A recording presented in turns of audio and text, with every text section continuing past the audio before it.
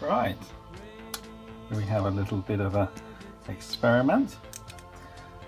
We have a normal background radiation dose of 0.12 microsieverts, which is perfectly normal. Uh, what we've got here is a packet of Lo Salt. You may have seen this in restaurants as an alternative to salt. Um, it's uh, reduced sodium salt, 66% less sodium. If look at the ingredients, it's made up in probably mostly of potassium chloride, 66%, and sodium chloride, which is salt, which is 33%, and an anti-caking agent.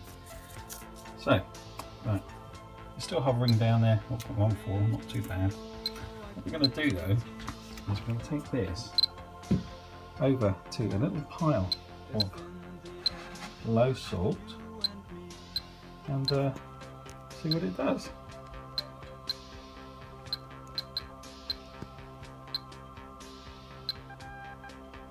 Now it's creeping its way up and you can hear the beeps a little bit closer together which is telling you that it is a source of radioactivity. So its way up.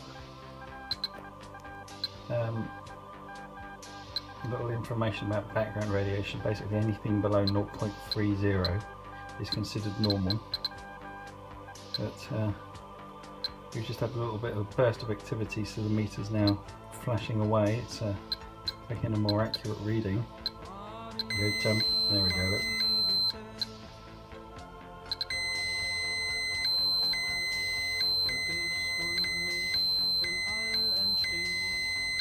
Point four two went up to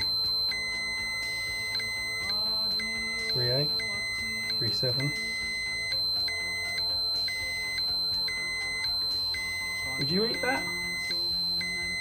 I certainly wouldn't.